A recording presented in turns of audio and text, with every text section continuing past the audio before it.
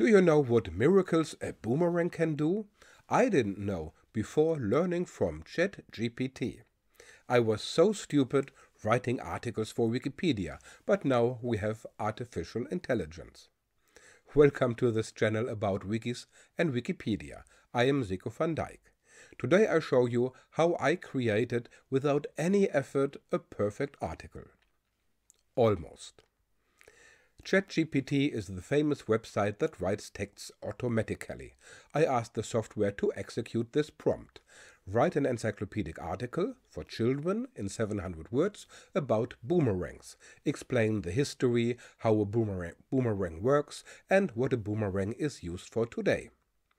Why for children?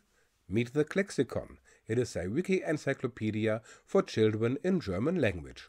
Creating it was a lot of work, so why not use artificial intelligence? I got a wonderful text. It sounds quite natural. As the text by the AI is in English, I used DeepL.com in order to translate it to German.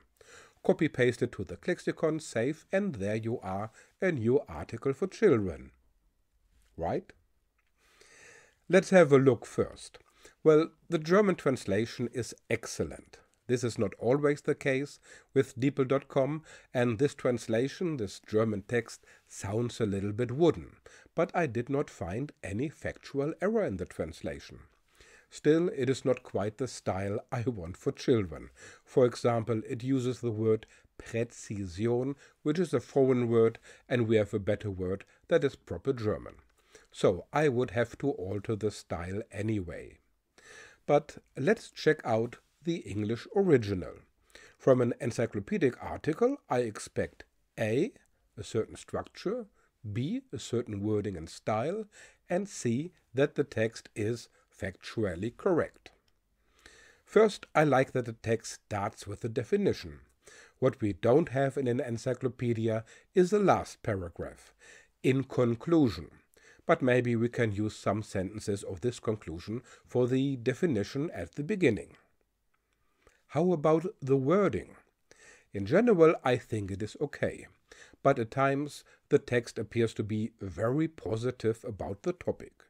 Many people are drawn to the unique shape and colorful designs of boomerangs. So using this uh, AI text, you have to be aware of this tendency. My biggest concern is the factual accuracy. For example, according to our text here, Boomerangs come from the indigenous people of Australia, and the word stems from a specific language of the Aborigines called Wiradjuri. The word boomerang was written down first by a European in 1822, and I quote, The word boomerang means a wooden object that returns when thrown, which is quite suspicious that the original meaning of the word is a perfect description of the modern usage. So I had to look all these facts up. I read German Wikipedia and English Wikipedia and Googled some websites in German for children, dictionaries, etc. So what I would do anyway when writing an article all by myself. According to English Wikipedia, there is no certainty about the origin of the word boomerang. It mentions several theories.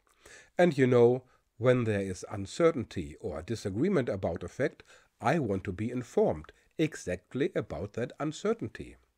So, why does the AI believe that boomerang is a word from the Wiradjuri language? I did not find that statement online, but I found this website from New South Wales. The Wiradjuri name for boomerang is Badawal. That means I have to assume that the AI simply crawled the web and forced all these words into one sentence. Another problem. The AI text describes boomerangs only as a part of the tradition of the Aborigines. It does not mention all those similar throwing sticks in other cultures around the world. According to the AI text, it also looks as if all boomerangs return to the thrower. That is not the case. Most boomerangs of the Aborigines fly straight in order to hit a target. The AI text describes the boomerang as a hunting weapon like this. The returning flight of a boomerang allowed it to be used as a ranged weapon, allowing hunters to hit targets from a distance. That sounds strange, as if you can hit a target and then the boomerang still returns to you. In my limited understanding, some boomerangs are designed to fly straight to hit a target, others are designed to return. A boomerang does not do both things at the same time. By the way, I used ChatGPT several times with the same instruction prompt for the boomerang and it always delivered different texts. Some versions mentioned, for example, the ancient Egyptians to have used throwing sticks, other versions didn't. Right, then, what's the use of AI writing at all? Did it help me writing an article about boomerangs for the Klexikon? The AI text may have given me some inspirations, but I had to delete most of the paragraphs for different reasons. It turned out that I had to do basically the same research as if I had written the text from scratch all by myself.